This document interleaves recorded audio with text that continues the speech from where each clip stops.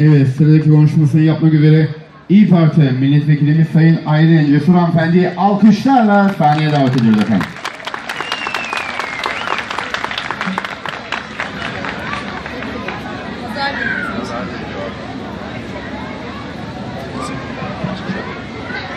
Sayın Milletvekili, değerli başkanım, değerli meclis üyeleri, değerli ilçe başkanları eee, ve sevgili Selirkentliler, Selirkentli hemşehrilerimiz.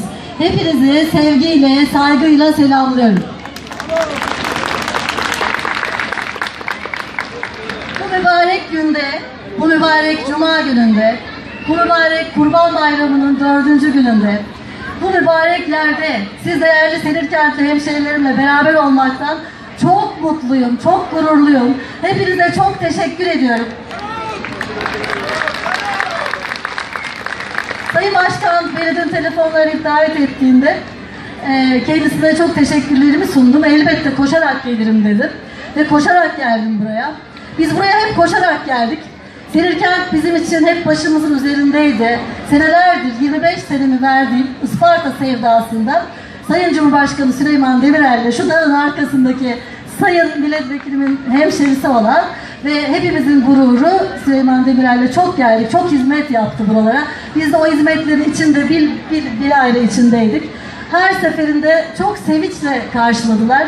Ben buraya ne zaman gelsem, kendimi İyi Parti milletvekili adayı olarak huzurunuza geldiğimde hep çok mutlu oldum. Selirkent bize hep bağrına bastı.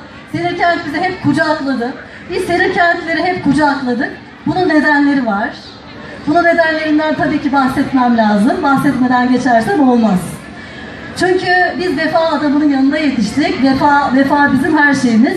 Selirkent nedir? Selirkent, Selirkent ta Osmanlı'ya, Selçuklu'ya gidelim. Selçuklu'da sınır, sınır, sınır e, kapısı ve ta o zamandan bu zamana gelen Türk kültüründe ve taşıdığımız bütün geleneklerde ve göreneklerde siz değerli Selirkentlilerin bugün bize ev sahipliği yapan, gündüz burada bir düğünümüze katıldık, bir taziyeye katıldık.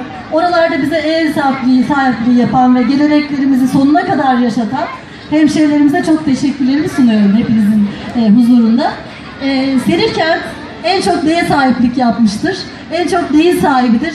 Selirkent bizim her şeyimizin, Cumhuriyetimizin, Atatürk'ün kurduğu büyük cumhuriyetin en önemli değerine, demokrasiye sahip çıkan bu, bu güzel kentin siz değerli hemşehrilerini, kentin dedim Allah bir söyletti. Yok yok e, karıştırmayalım ortalığı. Hepinize e, bu demokrasi, demokrasi kalesi olan e, Selirkent'e demokrasiden bahsetmek bize tabii çok e, yerinde olur diye düşünüyorum. Demokrat Parti'nin e, değerli milletvekili, değerli hemşehrimiz Tahsin Tolay'ı tabii anmadan geçemeyiz. Allah rahmet eylesin. Bu memleketten çok değerli insanlar geldi geçti. Çok büyük hizmetler yaptılar. Selirkent'e yaptılar, Isparta'ya yaptılar, Türkiye Cumhuriyeti'ne yaptılar, Türklüğe yaptılar, kardeşliğe yaptılar, barışa yaptılar, birlik beraberliğe yaptılar. Biz de onların arkasından birlik beraberlik içerisinde Türkiye Cumhuriyeti'ne tekrar huzuru ve barışın tesis edildiği, en güzel günlerin, en demokrasinin en iyi taşlandırıldığı günlerin bu üzüm kentinde, üzüm festivalinin yaşadığı bu güzel bu güzel e, ilçemizde tekrar e, insanların yüzlerinin sadece üzüme bakıp onun görüntüsüyle gülümsediği, gözlerinin gülümsediği günlerde olmak diliyorum. E, bu güzel günde daha fazla sözlerime sor vereceğim ama bir iki şey daha söylemem lazım. Selirkent aynı zamanda eğitimin, eğitimin kalesidir. Zaten aslında demokrasinin devam etmesi ve cumhuriyetin yaşaması eğitime bağlı. Selirkent eğitimine sahip çıkmış, kültürüne sahip çıkmış ve demokrasiye sahip çıkmış. Yani Selirkent cumhuriyete sahip çıkmış.